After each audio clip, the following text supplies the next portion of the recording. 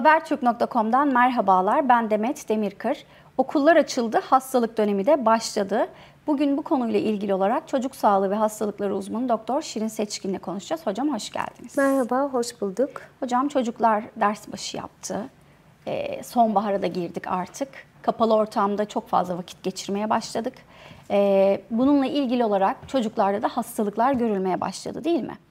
Evet, yani her mevsim geçişinde zaten normalde virüsler mutasyona uğrayıp enfeksiyonlar zaten artıyor. Mesela yazdan sonbahara geçerken aynı artışı sonbahardan kışa geçerken de bekleyeceğiz. Ama e, diğer yandan da bütün yaz çocuklar açık havadaydı. Denize girdiler, güneş gördüler. Güneşle birlikte D vitaminleri arttı. Ve yazın neredeyse hiç hastalık yokken bir gün bile okula giden e, çocuklar bir anda ateşlenmeye başladı. Bu tamamen e, sınıflarda sizin de söylediğiniz gibi yakın temas, işte e, havasız aynı havayı soluma e, nedeniyle salgınlar anında başladı. En çok neler görüyorsunuz peki şu an? Şöyle rinovirüs soğuk algınlığı yapan virüstür. E, tam sonbaharda, Eylül ve Ekim'de pik yapar. Yani e, bir kısım çocukta yüksek ateşle seyreder. Nezle, öksürük, kulak enfeksiyonu yapabiliyor. E, koronavirüs maalesef COVID-19 ve normal e, korona virüsü de epeyce bir yaygın. Yani koronadan hala kurtulamadık. E, beta her zamanki gibi çocuklar arasında hep yaygın. E, henüz grip başlamadı. Grip dediğimiz influenza. Ama diğer tüm virüsleri görüyoruz. Bir salgının varlığından söz edebilir miyiz şu an? E, evet çünkü e, sınıflar kalabalık, şehirler kalabalık. Diğer taraftan e, biraz hava kirliliği de var. Yani salgın hep oluyor. Hocam peki ne tür belirtilerle geliyorlar size bu çocuklar? E, genellikle e, çocukluk çağı enfeksiyonları yüksek ateşle seyrediyor.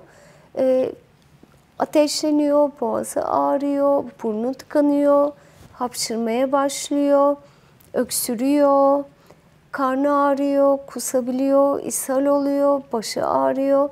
E, genellikle aileler e, işte soğukta kaldı, soğuk bir şey yedi, e, işte klimayı çalıştırdık.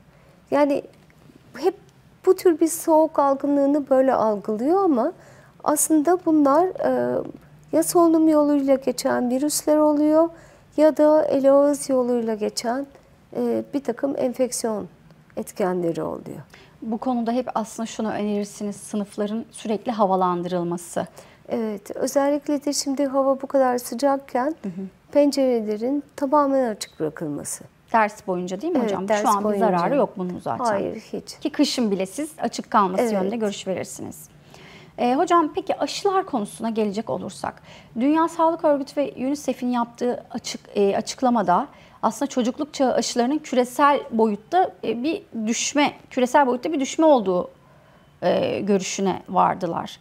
Bizde de keza geçen sene sürekli bu, bu yönde açıklamalar yapıldı. Çocuklara aşılar yapılmıyor artık. Koronavirüs pandemisi de aslında bunu biraz tetikleyici oldu. Ee, bu konuda neler söylemek istersiniz? Geçen sene kızamık çok konuşuldu, boğmaca çok konuşuldu. Ee, neler söylemek istersiniz? Şimdi şöyle, e, tüm dünyada aşı karşıtları e, sosyal medyayı da kullanarak epey yanlış bilgilendirme yaptılar. Hı hı. Ve aileler e, bu haberleri dinleyerek, özellikle internetteki haberleri dinleyerek e, resmi olmayan siteleri e, aşılarla ilgili herkeste bir takım soru işaretleri oluştu. Ve herkes şeyi unuttu. Hatta aşı yaptıran da hay Allah keşke yaptırmasaydık demeye başladı.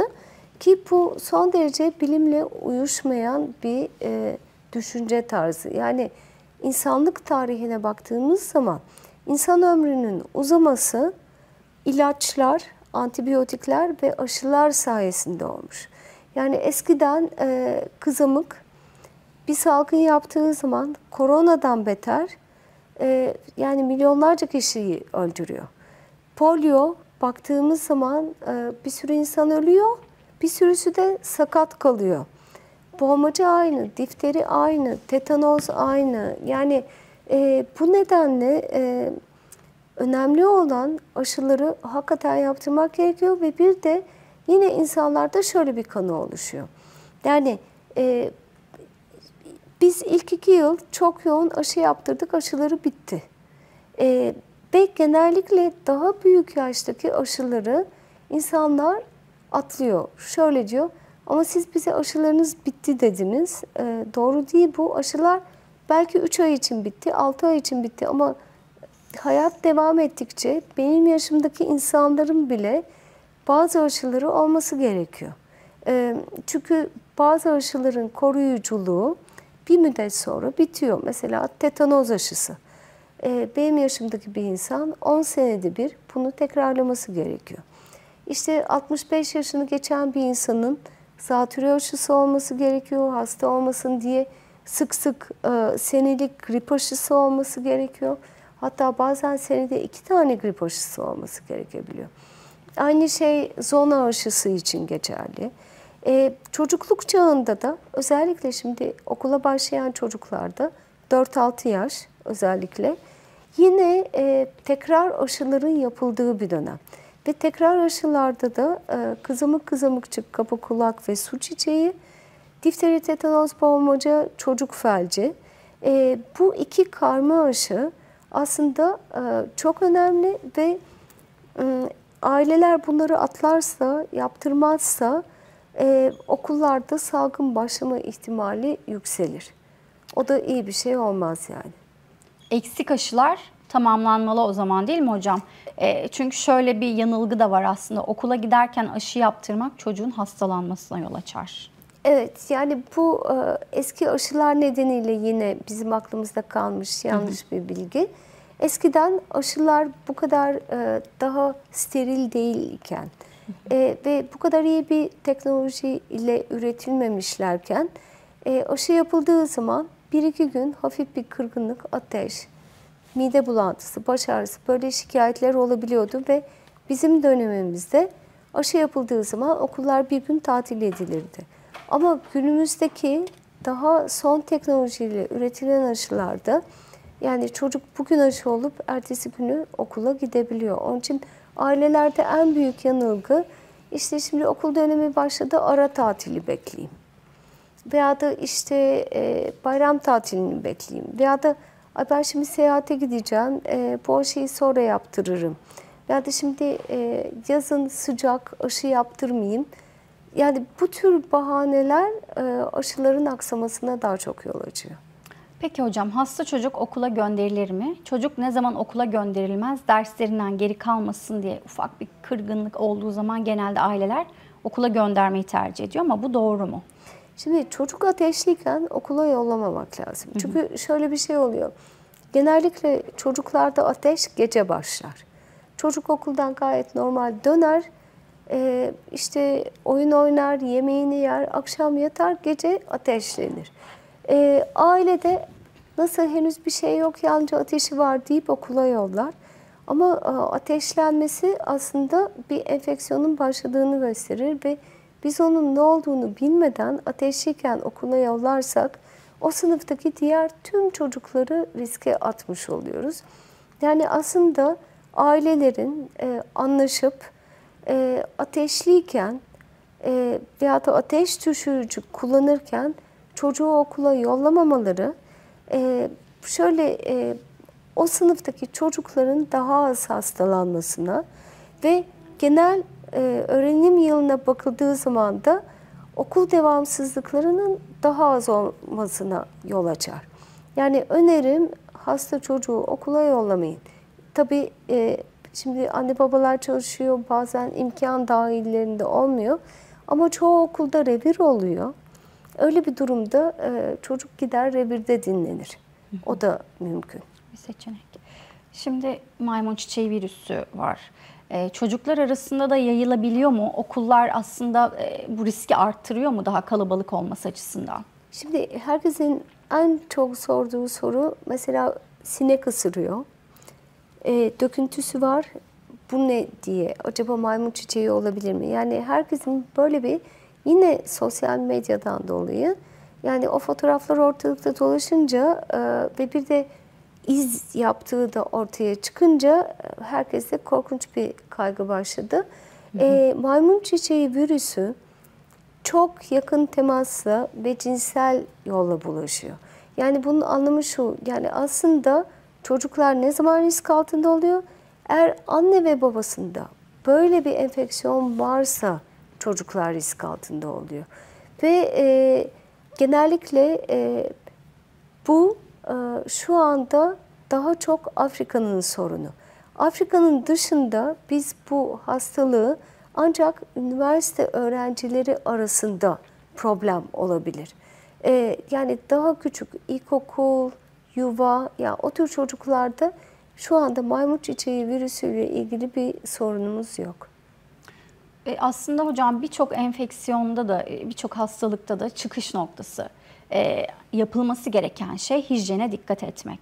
Evet. Bu konuda çocuğa ne öğretilmeli? Çocuk okula gitti, nelere dikkat etmesi gerekiyor? Ailelerin nelere öğretmesi gerekiyor çocuğa? Ee, şimdi çoğu okulda yemekhane var, yemek de yeniliyor. Yemekten önce elini yıkayacak. Hı hı. Ee, diğer taraftan mesela burnunu karıştırdı, elini yıkayacak. Hapşırdı, öksürdü, mendili var, çöpe atacak. Yani bunu böyle sıralarda falan bırakmayacak. Ya da eline hapşırmaması gerektiğini, evet, kol yani içine hapşırması gerektiğini öğrenecek. Şuraya hapşırabilir. Ee, diğer yandan e, hani mesela başkasının bardağı, suyu hani onları hani böyle yok kan kardeşliği yaptık hani bizim zamanımızda vardı.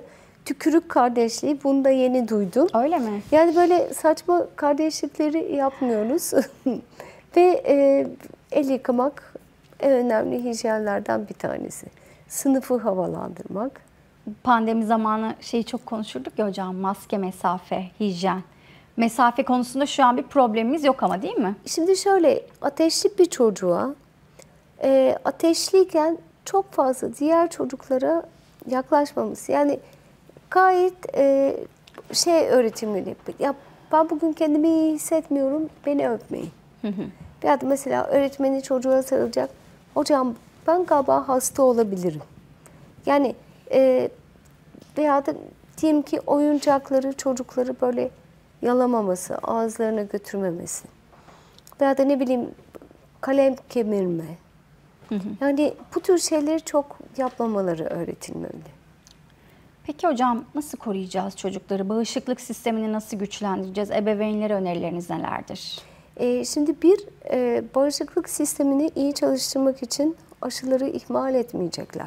Çünkü aşılar e, da bir nevi antikor üretilmesini sağlıyor.